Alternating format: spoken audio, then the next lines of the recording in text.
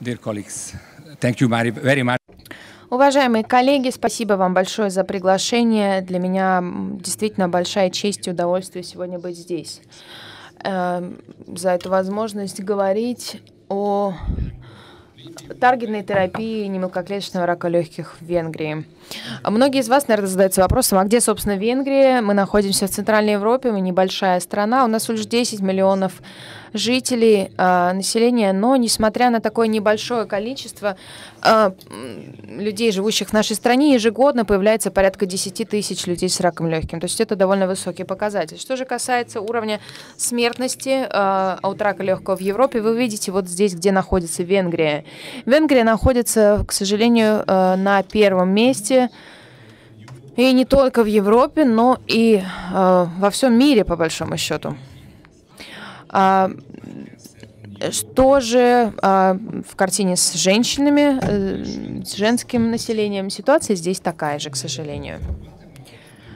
А, что же мы можем да, сделать. Давайте взглянем на разницу в смертности мужчин и женщин в Венгрии с 55 по 2013. И вот мы видим, что с, с женщинами мы вышли на такую ровную поверхность, однако с мужчинами вышли на плоскую поверхность, на такую э, постоянную переменную, то с женщинами этот показатель все время растет. Заболеваемость рака легких среди мужчин и женщин рассмотрели, да, но давайте вот посмотрим. 20 лет назад соотношение было 1 к 4.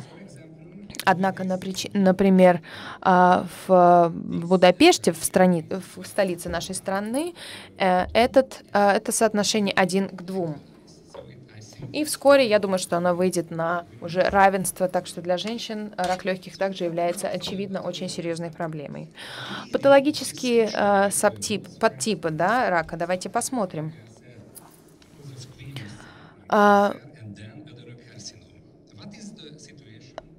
Вот мы с вами посмотрели на этой диаграмме распределение плоскоклеточной аденокарциномы, крупноклеточной и так далее. Здесь мы видим, что аденокарциномы среди гистологических подтипов в Венгрии э, занимают 45%. Лишь 25% отводится на плоскоклеточный рак, а в Венгрии частота аденокарцинома все время растет. Говоря о тактике выбора первой линии лечения, первой линии терапии аденокарциномы в Венгрии, понятно, что в Венгрии у нас довольно уникальная ситуация именно из э, из KRAS-тест, из анализа KRAS-теста. А, этот, эта мутация, мутация драйвер в аденокарциномы практически уникальная. И а, довольно правильным решением было бы сначала исключить э, связанный с мутацией KRAS э, рак и затем уже лечить все остальные. А в, после этого мы продолжим уже с, с тестом AGFR и затем э, подразделимся еще на две части. Да? Дикий тип AGFR и мутация GFR. А в, случае с диким типом мы продолжаем уже с FISH-анализом и ML4-ALK. Как я уже говорил,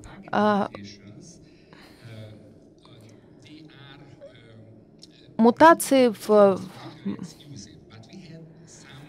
Зачастую бывают уникальными, иногда случаются, правда, двойные мутации. Вот у нас есть данные о частоте двойных мутаций в Венгрии. Мы видим, что э,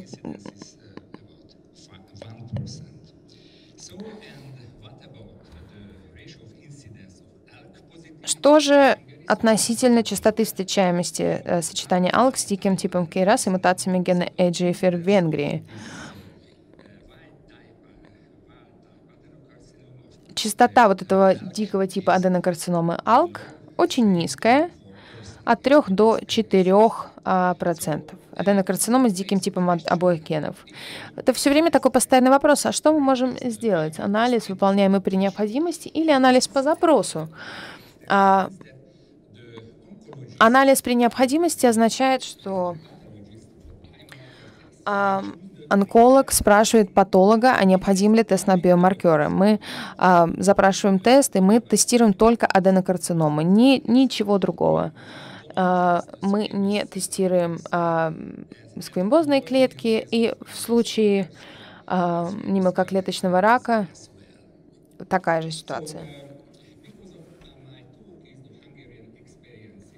Я говорю о, о, об опыте Венгрии, такого таргетного целевого лечения. Покажу вам э, результаты исследования СИТАК. Это исследование было проведено в Венгрии. Я был его основоположником.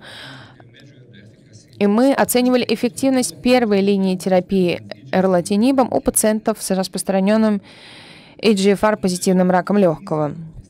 В чем же была причина проведения этого исследования? На тот момент у нас было лишь одно позитивное клиническое исследование с кавказскими пациентами. А, а, вам всем известно это исследование ЮРТАК. Это было международное исследование. У нас были центры в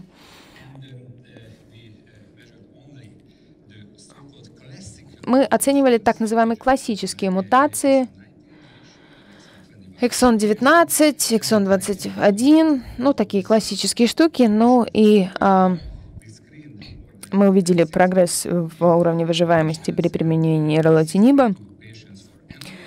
А, в, включено было 62 пациента, 651 прошел этап скрининга. 62 по результатам, как я уже сказал. Вот результаты, да, прогресса. Первичная а, конечная точка, э, выживаемость без прогресса практически 13 месяцев. Но я хотел бы подчеркнуть, что в так называемой классической форме, при так называемой классической форме мутации, а, не прогрессионная выживаемость в, в, в подгруппах вот мы увидим, что делится экзона 13 и мутация экзона 21, они отличались, да, в итоге показатель первый был выше. Ну, однако статически, э, статистически все это было незначимо, тем не менее довольно интересно. Нам очень хорошо, что а, от Blackstone 6 мы знаем, что ситуация была обратная. Что же э, касается однолетней выживаемости, вторичная конечная точка, здесь э, показатель был более 80% пациентов. Мы сравнили эти показатели с э, другими данными других исследований, результатов, и вот здесь вы будете видите, что э, показания, результаты исследования СИТАК были сравнимы. Я бы хотела поделиться нашим опытом э, использования афатиниба, афатиниба Э, в э, это было э, клиническое исследование 3B, и показать я хотел бы вам э, определенный опыт и результаты э, этого исследования. Все мутации гена EGFR, э, не только классические или только редкие, пациент э, должен, для включения у него должна была отсутствовать предшествующая терапия, такая GFR, ну и все линии терапии могли быть включены, даже третья и четвертая. Вот, пожалуйста, исходные характеристики пациентов перед вами. Больше было женщин, чем мужчин. А, ну, в основном это была первая линия терапии у них, и в основном они все а, не являлись курильщиками. Что же мы выяснили? Была одна двойная мутация у этого пациента. У него была экзон 19 и КРАС. Э, ну и э, в итоге пациент этот был не очень сильно хорош.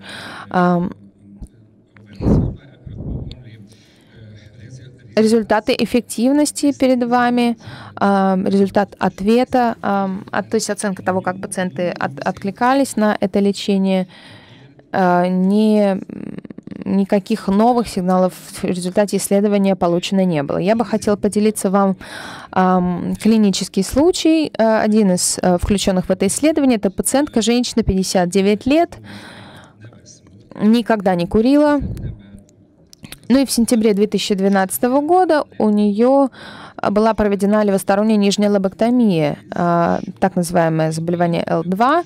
Ну и а, мы выписали пациенту а, химиотерапию вместе с лекарственными препаратами. К сожалению, через два года назад мы видим плевральный выпад и метастазы в левый надпочечник. Цитология а, плеврального выпада показала нам а, клетки а, злокачественного опухолевого образования и была обнаружена делеция а, экзона 19. Ну и, естественно, мы а, начали лечение джиатрифом в декабре, в декабре 2013 года. Через два месяца контрольный а, ПЭТ показал а, полный метаболический патологический ответ. Ну, уже ранее я вам сказала, что мы начали афатинип, лечение афатинибом, но и в декабре 2013 года и пациент, вот вы видите результаты патологического ответа, и текущий статус такой же. Пациент э, в полном патологическом ответе на протяжении двух с половиной лет, больше даже. Э, вывод какой э, из истории этого пациента может быть сделан?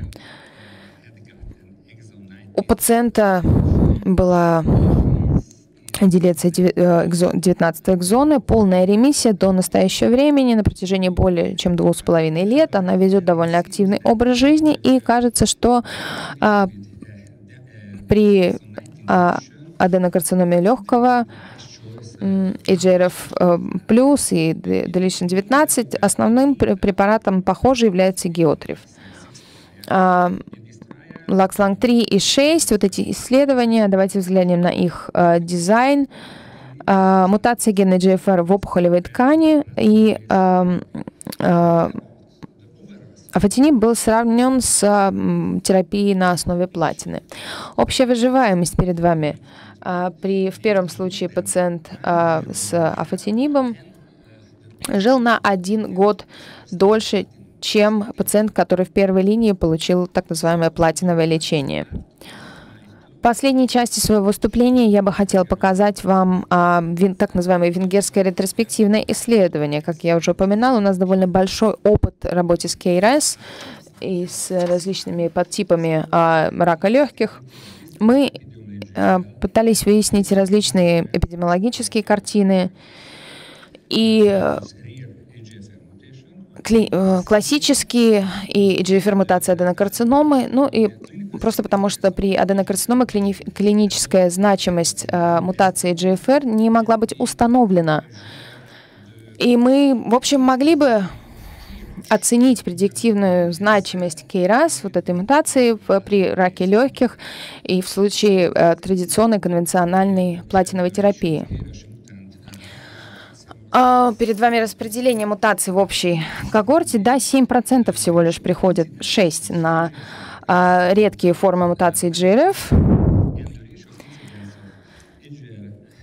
А, однако видим вот другие, да, типичные мутации GFR примерно сопоставимы, 5%. Так называемые синонимичные мутации GRF были 3%. Довольно любопытно, что вот это э, отношение было примерно одинаковым в классической и в редких формах аден, мутации в аденокарциноме. Э, общая выживаемость пациентов с аденокарциномой легкого. Здесь мы можем видеть на этом слайде, в клинической практике довольно любопытно. Пациенты, которые никогда не курили, среди общих пациентов, общего числа пациентов с аденокарциномой жили дольше, чем те, кто э, в прошлом курили или курили по настоящее время на время постановки диагноза. Что же касается различных подгрупп пациентов, классические мутации, э, редкие мутации, э, двойная мутация, KRAS и э, GRF аденокарцинома, и ну, вот все данные представлены здесь. Пациенты с редкой мутацией лечились э, Соответственно, подход к ним был разный. Тип, э, тип, типичные мутации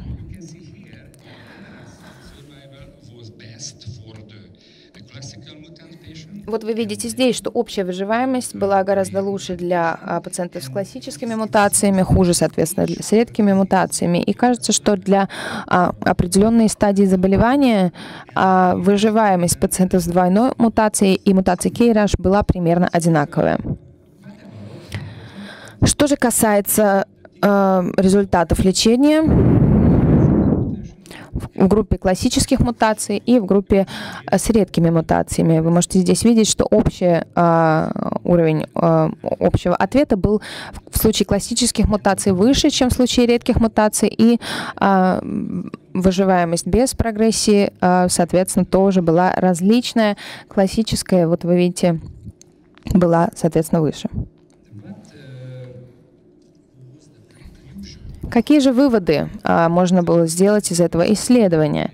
Похоже, что а, классическая, а, классические виды мутаций показывают от, раз, другие эпидемиологические характеристики. А, в случае с редкими мутациями EGRF а, существенное клиническое влияние оказывают на картину и, собственно, расширяют число пациентов, которые могут а, быть включены в исследование и получить пользу от а, ИТК и GFR.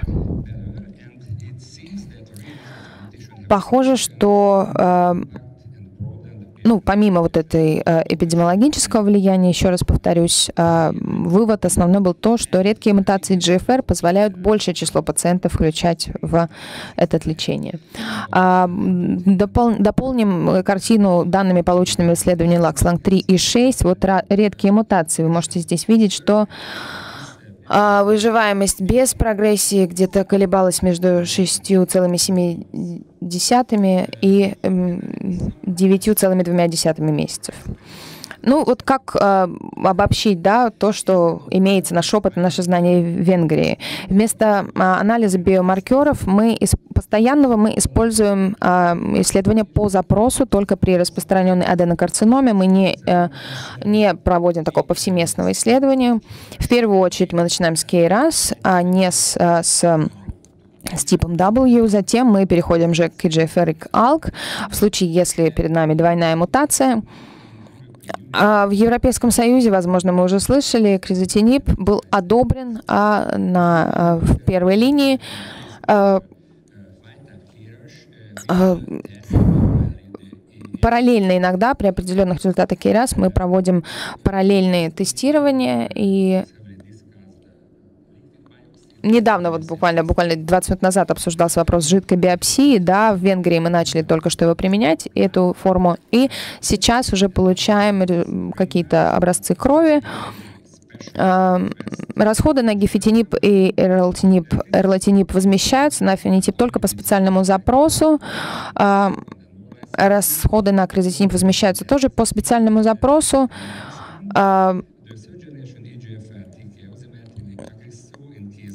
В случае э, Т-790М по специальному запросу также возмещаются расходы на э, ИГРФ и ТК третьего поколения, соответственно, асимертинип. А, ну и на этом у меня все. Спасибо вам большое за ваше внимание. Это вот ночной вид Будапешта. Можете посмотреть на наш подвесной мост, парламент. Пожалуйста, приезжайте в Венгрию. Мы э, вас очень сильно ждем. Спасибо. I have several questions, epidemiological questions. У меня есть эпидемиологический вопрос. Довольно странно видеть, что э, частота рака легких в Венгрии почему-то в два раза выше, чем в Австрии, страна, которая, в общем, довольно близко к вашей стране или к, в Чехии. В чем же причина, по-вашему? Очень простой ответ. Мы не знаем. Нас всегда задают этот вопрос, однако ответ на нас у него нет. Мы не знаем. Ну вот, например, а, у нас курит, в общем, не больше людей, чем в других странах. А, как в Греции, в Германии курит столько же людей. И вот у нас такая высокая частота заболеваний э, раком легких. Может, какая-то генетическая, я не знаю, здесь э, картина, социальные какие-то, я не знаю, факторы, что-то такое. Было бы здорово как-то изучить этот вопрос. И что же касается вот курения, а по-прежнему ли много людей курит в вашей стране, так же много, как в Польше? Какова ситуация в вашей стране? Какая доля населения курит? В Венгрии, к сожалению,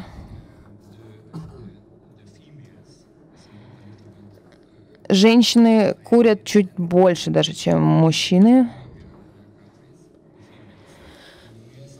А мужчины, в общем, ну, в сравнении с остальными э, странами Европейского Союза, э, я думаю, где-то треть, наверное, людей в Венгрии среди мужчин это, а вот женщины, мне кажется, где-то 25.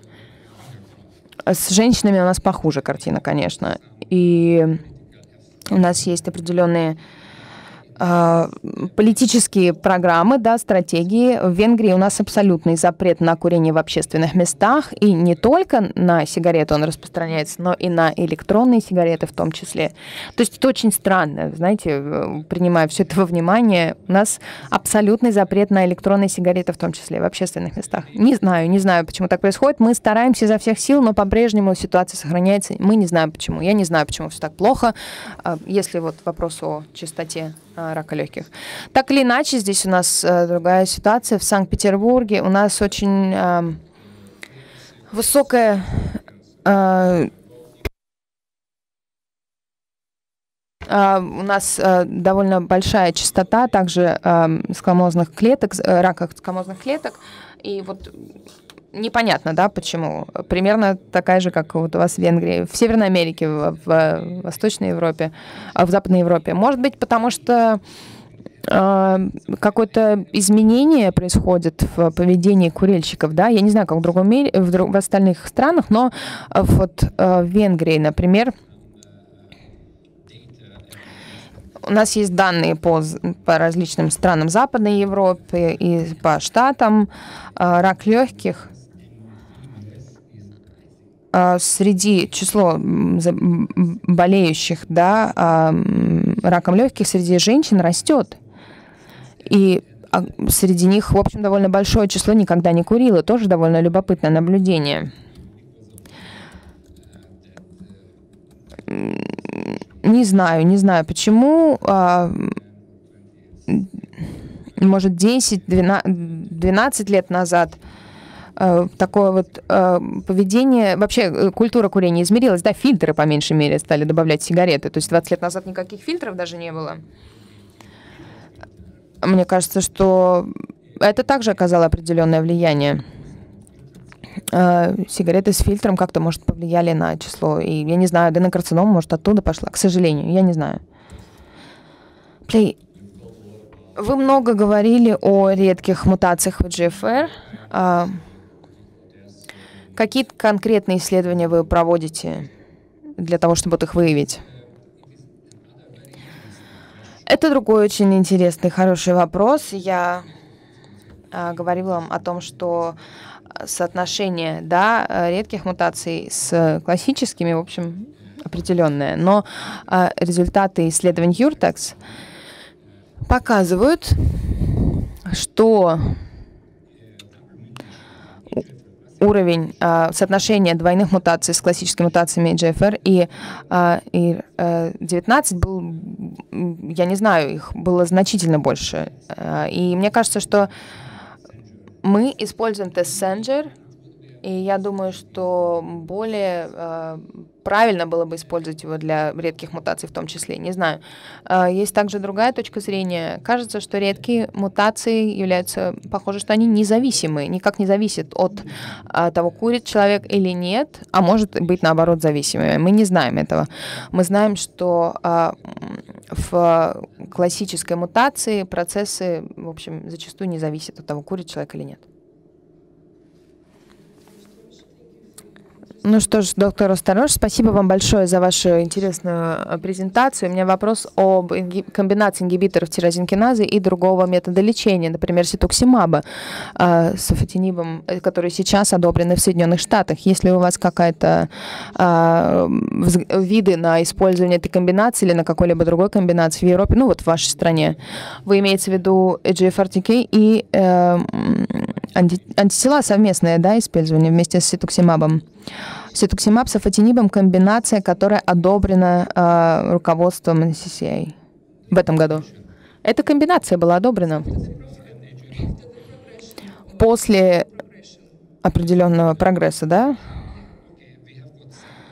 Ну, у нас есть некоторые данные, но мы еще их не обработали, к сожалению. Мне кажется, э, Иммунотерапия гораздо важнее. Мы концентрируемся на иммунотерапии, и я думаю, что последовательность и совмещение иммунотерапии, таргетной терапии, вот эти все возможные комбинации будут. За ними, я думаю, будущее. Не думаю, не думаю, что будущее в а, комбинации, а, которую вы упомянули.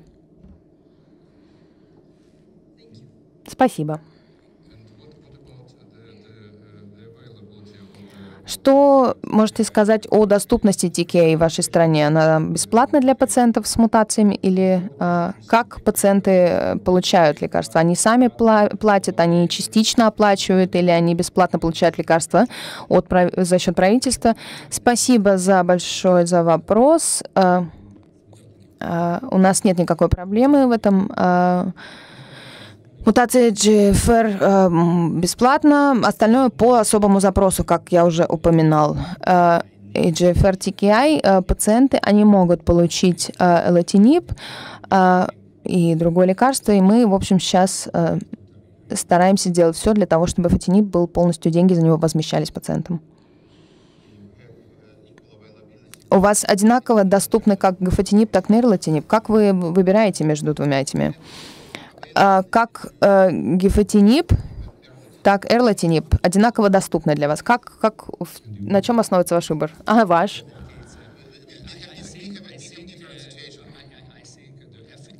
Я думаю, что эффективность этих двух лекарств одинакова, ну, на мой взгляд.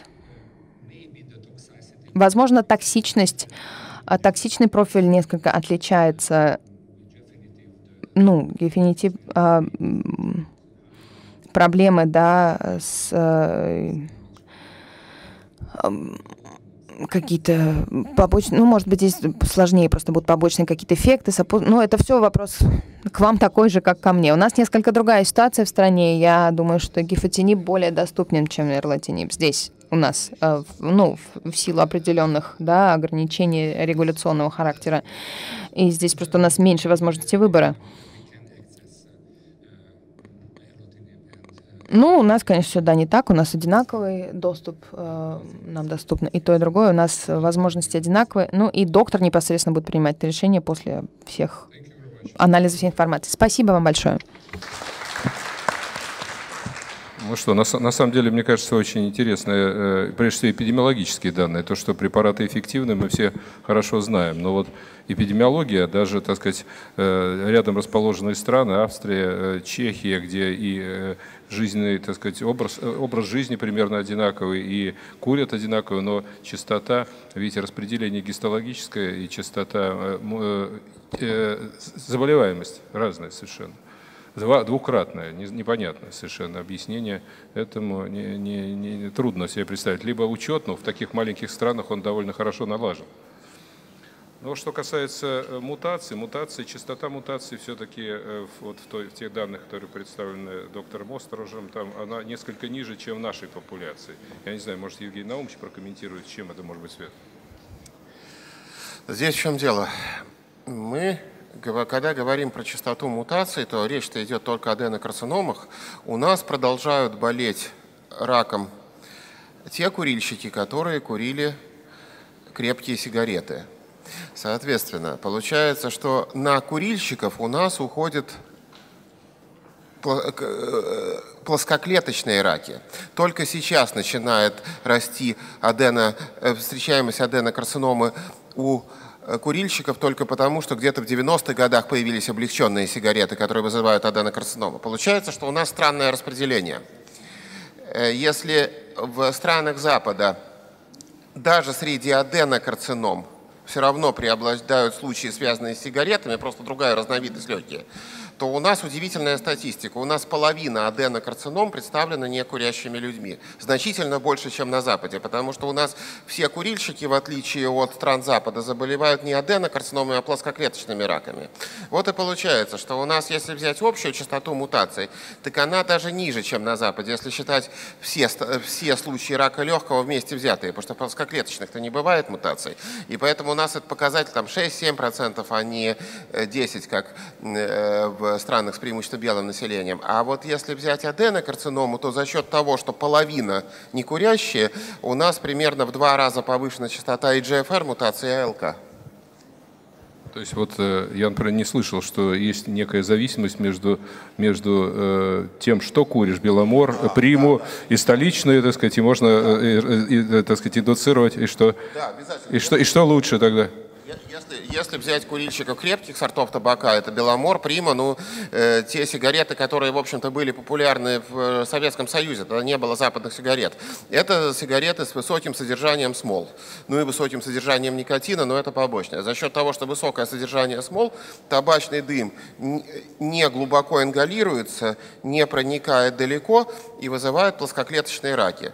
Когда появились облегченные сигареты, они с низким содержанием смол, э, там основной канцероген не полициклические ароматические углеводороды, а нитрозамины. Нитрозамины вызывают другой тип рака, не плоскоклеточный рак, а аденокарциному. И, соответственно, когда произошел переход с крепких сигарет на облегченные, это где-то на рубеже 90-х годов, то у нас начинается, как у всех, у нас почему пропорция аденокарцинома растет?